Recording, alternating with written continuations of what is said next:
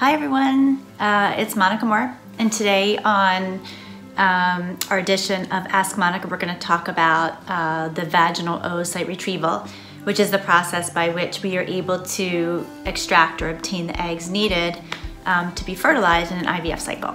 So, uh, as usual, I have visual aids. Um, I do have help with drawing today. Um, but first, before we can really talk about the retrieval, we need to talk about what the differences between a follicle and an egg. We often use those terms interchangeably, but they are a little bit different, and it's important to know for this. So, um, if we look at the screen here, see if I can get this without that light. Okay. So, a follicle is a fluid filled sac that holds an egg. And as an egg matures, the follicular fluid increases in the amount, which increases the diameter of the follicle. So eggs are microscopic. We can't see them uh, by ultrasound, we can't see them with the naked eye. So by measuring the diameter of this follicle, we are indirectly measuring the maturity of the egg. So in order to obtain this follicle, we have to puncture, excuse me, this egg, we have to puncture the follicle, which we do with a needle. The follicular fluid will um, disappear so that it kind of collapses like this. And then what's left is the egg, and then the egg will go out through the needle to be fertilized with sperm in a petri dish. I'm not even gonna try to draw sperm, but this is the petri dish, here's the egg. Okay, so what we're doing is we are puncturing follicles in order to obtain the egg that's inside of them, to put them into the petri dish to be fertilized by sperm. How do we do that? This I have to show you a picture of because there's no way I'm being able to draw this for you guys. Okay. So what happens is the um, vaginal ultrasound probe goes in through the vagina, just like it does when you have vaginal ultrasounds done. The um, needle, there's a needle attached to the end of it, which goes through the vaginal walls. Um, you can see right here, the vaginal wall, here's the needle. And it goes into the ovary and it, and it goes in a couple times to puncture follicles. As this follicle is punctured, this egg goes out and goes through um, here into kind of a tube.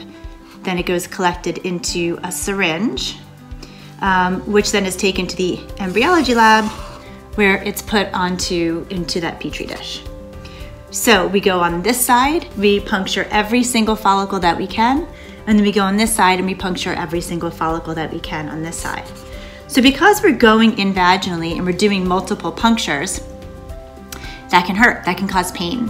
Um, and that's why we always want you to be under anesthesia when you have this procedure done. We don't want you to be in pain. We don't want you to be flinching or moving so that we can be kind of very direct and deliberate when we go in with the needle. Because we're going through the vaginal walls, there's no scars really. We're not going in, you won't ever, no one will be able to see that you had this done. But afterwards, where in the vagina where their multiple puncture wounds were, of course you can imagine that that might cause some soreness and a little bit of spotting, but most people feel pretty good after the retrieval. Um, then um, as these, after these follicles are punctured, they fill with blood and they feel, fill with healing substances, which can cause the ovary to actually be a little bit bigger here as it heals. And that is why people can feel a lot of discomfort right after the retrieval, particularly three or four days after the retrieval is when it's at its peak for people. So um, the healing process can cause some discomfort as the ovary kind of heals itself. Um, but most people do uh, really well with that. And um, when you wake up from anesthesia, not only do you not feel this process, but you kind of really don't remember it for a little bit of time afterwards. So hope that helps. Um, because you're having anesthesia, I should mention that we would want you to have nothing to eat or drink um, from midnight the night before or the morning of the retrieval. Um, we, you can brush your teeth uh, with a minimum amount of fluid that you swallow, um, but really in terms of safety for anesthesia, we do ask that you're what we call NPO or nothing to eat or drink after midnight the night before the retrieval and that morning. So hope this is helpful. Good to see everyone. Have a great rest of your day.